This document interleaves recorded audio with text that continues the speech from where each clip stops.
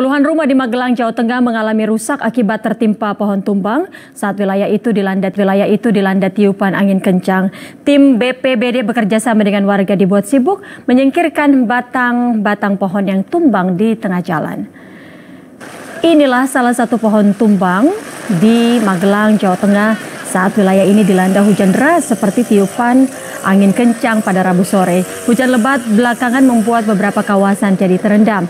Dalam peristiwa ini puluhan rumah warga di beberapa kecamatan rusak akibat tertimpa pohon tumbang. Sebagian lainnya karena tergenang.